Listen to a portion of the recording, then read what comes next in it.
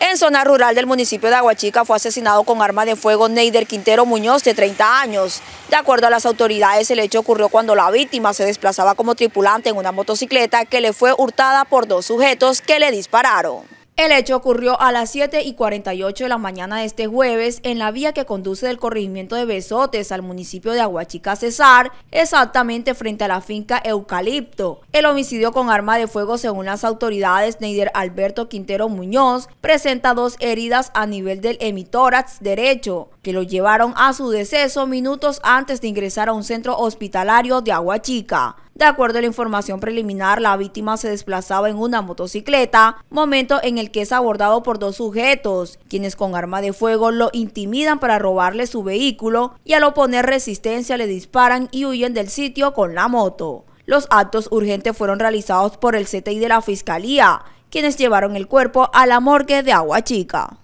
Evita el robo de tu vehículo. En GPS Alarma CJ tenemos lo mejor en seguridad vehicular. GPS para carros, motos y maquinaria de línea amarilla. Con monitoreo satelital 24-7. Alarmas con sensor de proximidad.